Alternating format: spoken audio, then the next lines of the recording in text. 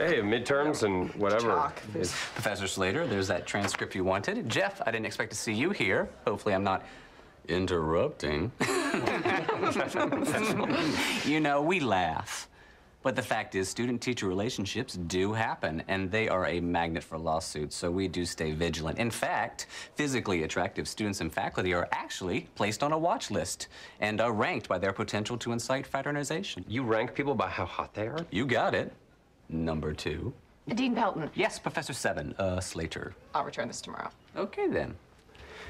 You guys be extra careful now. Two people of your rankings in this small room hmm, with this type of lighting and his upper body and what her heels and hemline are doing to enhance what were already quite a few favors from God. It's all the more important to keep it tasteful.